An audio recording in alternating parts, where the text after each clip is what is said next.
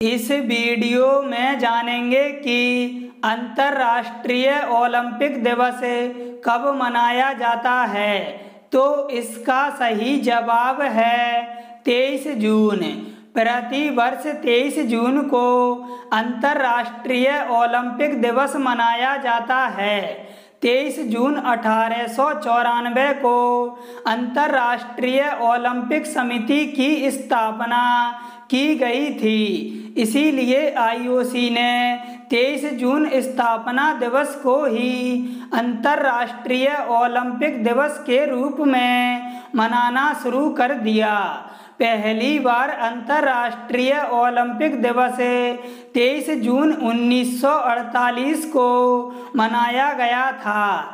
इस दिवस को मनाने का उद्देश्य खेलों के प्रति लोगों को जागरूक करना और साथ ही इन खेलों में अधिक से अधिक खिलाड़ी भाग लें यह भी प्रयास करना है।